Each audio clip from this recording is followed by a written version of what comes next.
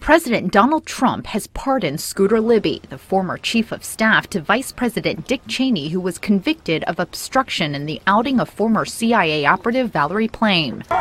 Libby's 2007 conviction for obstructing justice and lying to the FBI capped a two year investigation into how Plame's covert identity was leaked to reporters in 2003 in a case that captivated Washington and ended her career.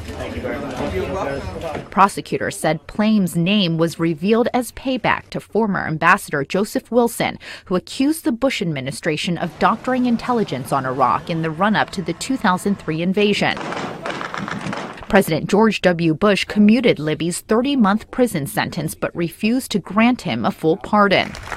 Some speculate Trump's move may be connected to the release of a new book harshly critical of President Trump by James Comey, the former FBI director fired by Trump amid Robert Mueller's probe into Russia's alleged meddling in the 2016 election.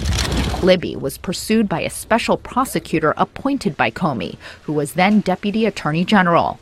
News of the pardon comes as several of Trump's former campaign aides face similar charges of lying in the Mueller probe. The White House has repeatedly said no pardons are being considered for people caught up in the Russia investigation.